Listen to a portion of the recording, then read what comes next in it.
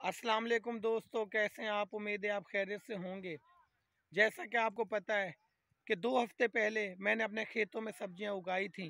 बिल्कुल बंजर ज़मीन के अंदर, जहाँ पे नहरी पानी भी जो था वो दस्तियाब नहीं था।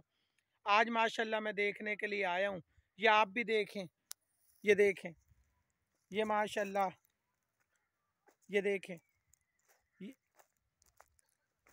माशाल्लाह। ये देखें। कितनी प्यारी सब्ज़ियाँ जो हैं वो हो रही हैं।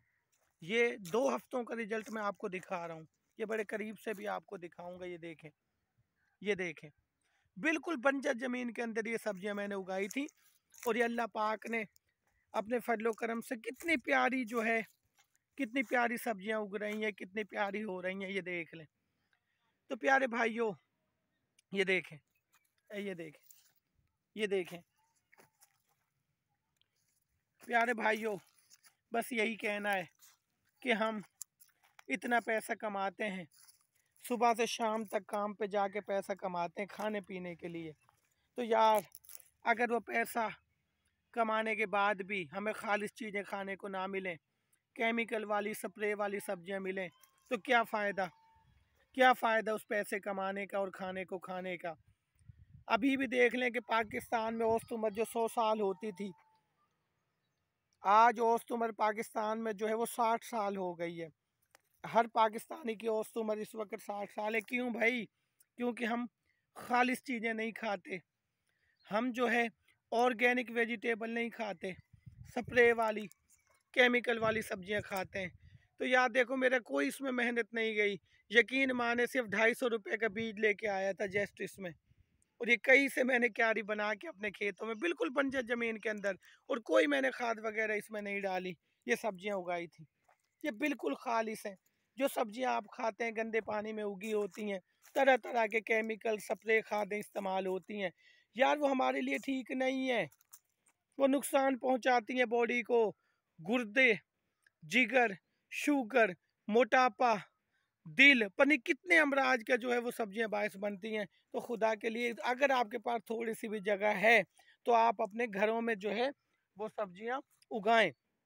खाली सब्ज़ियाँ खाएँ और ये ना खाली सब्जियों से जो है आप अपनी जो है वो जान छुड़ा लें। इसके अलावा मैंने एक और भी ये खेतों में क्यारी बनाई थी ये काफ़ी बड़ी थी ये देखें। ए, ये देखें ये वाली। अब इसमें भी अगर आपको मैं करीब से दिखाऊँ तो इसकी भी जो है, वो सब्जियों की जो जर्मिनेशन है, जो ग्रोथ है, वो हो रही है। ये गौर से देखें, ये देखें। ये आप देख रहे हैं? ये देखें ये देखें ये देखें ये देखें। इसके अंदर भी माशाल्लाह सब्ज़ियाँ जो है, वो उगने लग गई हैं। तो बस इतना ही कहना चाहता हूँ। बस यही मेरा वीडियो बनाने का मकसद होता है कि मैं आपके अंदर शौक़ पैदा कर दूँ। क्या आप भी अपने घरों के अंदर सब्ज़ियाँ उगाएँ। अगर घर में जगह नहीं तो छतों पे सब्ज़ियाँ उगाएँ। यार, अब तो तरह तरह के ग्रोथिंग बैग, गमले भी जो हैं, वो मिल जाते हैं। खाली सब्ज़ियाँ खाएँ। या अगर आपके पास खेतों में जगह है तो वहाँ पे जो है, वो सब्ज़ियाँ उगाएँ। खुद भी खाएँ, अपने पड़ोसियों को भी दें। ठीक है जी? बिल्कुल खाली सब्ज़ियाँ आपको मिलेंगी और आपका जो है, वो पैसे भी बचेंगे। ठीक? और एक आप खालिश चीज़ भी खाएँगे। ये देखें, इसमें मैं आपको ये दिखा रहा हूँ। ये ये ये खुद देख लें, ये देखें। ये देखें। ये देखें। ये देखें, और ये इधर भी मैंने क्या हैं, कल ही आके यहाँ पे बनाई हैं।